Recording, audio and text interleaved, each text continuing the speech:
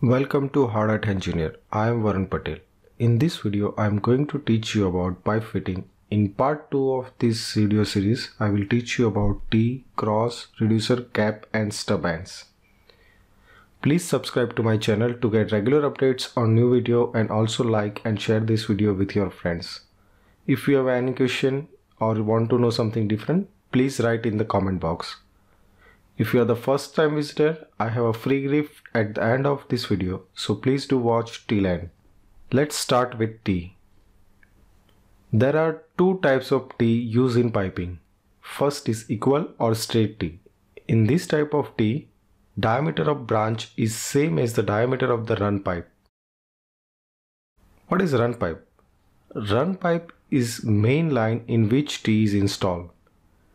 Second type of T is reducing T. In this type, diameter of the branch size is smaller than the diameter of the run pipe. Cross Cross are also known as four-way fitting. A cross has a one inlet and three outlet or vice versa. Generally cross are not used in process piping to transport fluid, but forged crosses are used sometime in fire water sprinkler lines. Reducer. Reducer are used to change the size of the pipe. There are two type of reducer used in piping, concentric and eccentric. In concentric reducer, center of the both the end are on the same axis. It maintains the center line elevation of the pipe. Concentric reducer is used in pump and compressor discharge line. Whereas in eccentric reducer, center of the both ends are on the different axis as shown in the image.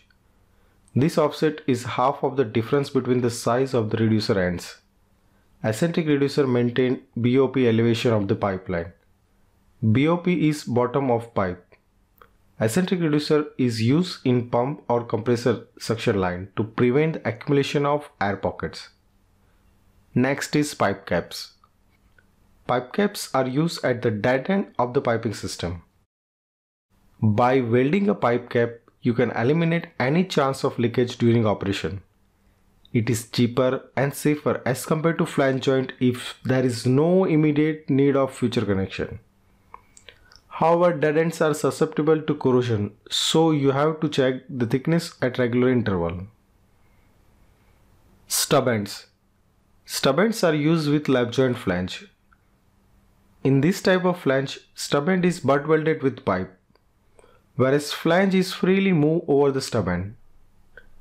It is basically a flange part but covered under ASME B 16.9 that is why it considered as a pipe fitting. Hope you enjoyed this video. Don't forget to subscribe my channel to get regular updates on new video and also like and share my video with your friends. If you want to request a video, please write in a comment below. And don't forget to check free piping component guide by visiting my website hardhatengineer.com. See you soon. Goodbye. Take care.